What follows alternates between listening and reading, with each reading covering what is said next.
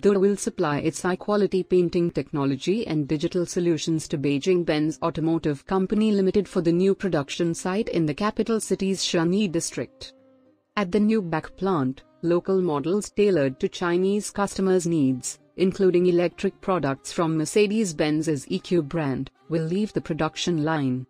Dürr's products will contribute to the high-quality standards and increased digitalization. The EcoDryScrubber will ensure environmentally friendly paint separation in Shunyi.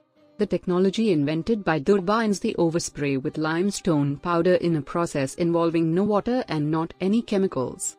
This means that the painting booth can be operated with more than 80% recirculated air, which in turn lowers air conditioning costs and offers energy savings of more than 60% in the spray booth.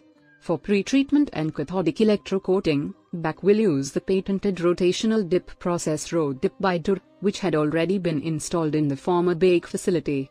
The rotation of the bodies around their own axis enables shorter immersion tanks in comparison with other conveyor technologies, which takes up less space and consumes less energy, water and chemicals. The main actors of the fully automated paint shop are painting and sealing robots by Dürr along with EcoBell atomizers for high quality and most efficient paint application. A total of 90 robots by Dürr will work on the Mercedes-Benz fleet in Shunyi. Of these, 20 painting robots and 18 sealing robots are new to the plant. The other 52 robots were already in place and will now be technically renewed on site in a special reuse concept combined with an application process overhaul. The scope is further supplemented by efficient paint and PVC supplies.